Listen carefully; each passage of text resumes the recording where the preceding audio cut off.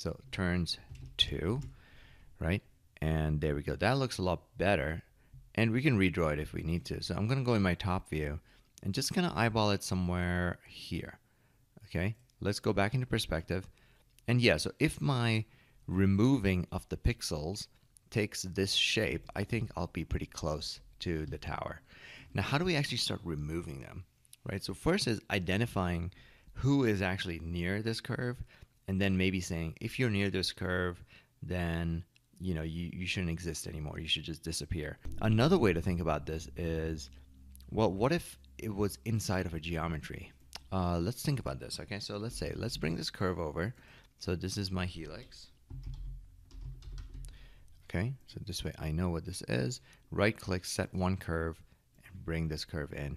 And I'm actually going to pipe this. So let's pipe this guy. Let's make a big, thick, giant pipe going around this tower.